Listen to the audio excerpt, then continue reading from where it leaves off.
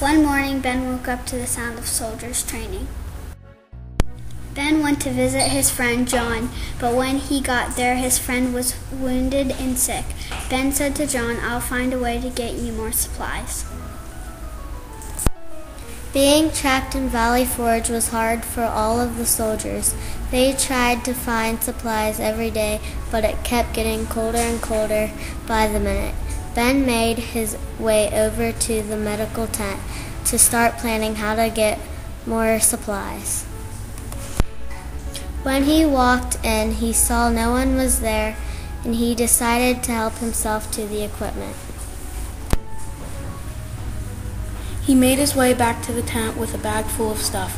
What have you got there? asked Eddie, the soldier. Uh, nothing, said Ben with fear. Eddie looked at Ben suspiciously, but let him go. When Ben got back to John, he gave him the warm clothes and food he needed. Thanks, said John.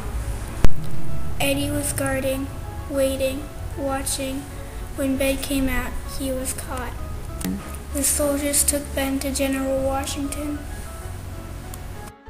The other soldiers are standing outside General Washington's tent and chanting for Ben to be punished. Ben felt guilty as General Washington looked at him sternly. Ben said sorry in a nervous tone. General Washington turned with a slight grin and said, I understand, but you will have to pay the price for your crime. This time, the price is delivering supplies to all the other men.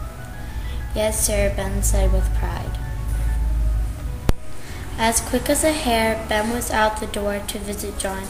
To his surprise, John was better, and the two friends delivered all the supplies to those in need.